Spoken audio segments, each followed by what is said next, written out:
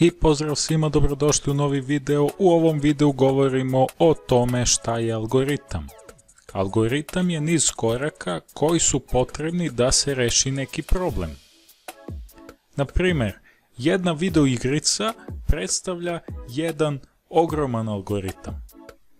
A sa druge strane, video igrica je ujedno i kolekcija stotine i hiljade manjih algoritama gdje svaki od njih rešava neki problem.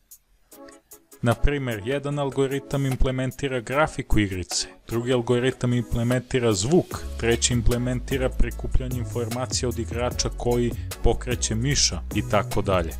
Dakle, u ovoj lekciji smo govorili o tome šta je algoritam. Ne zaboravite da lajkujete ovaj video i da se preplatite na naš kanal. Vidimo se uskoro sa sličnim videima. Pozdrav i sve najbolje!